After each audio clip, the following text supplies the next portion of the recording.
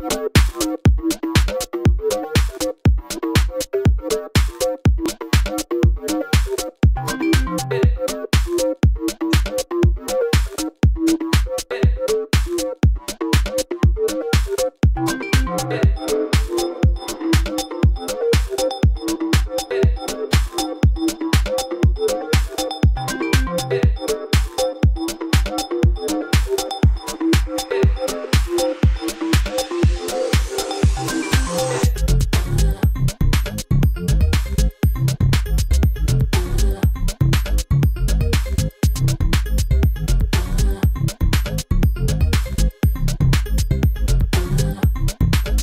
Was saying that he just doesn't want me in his life anymore.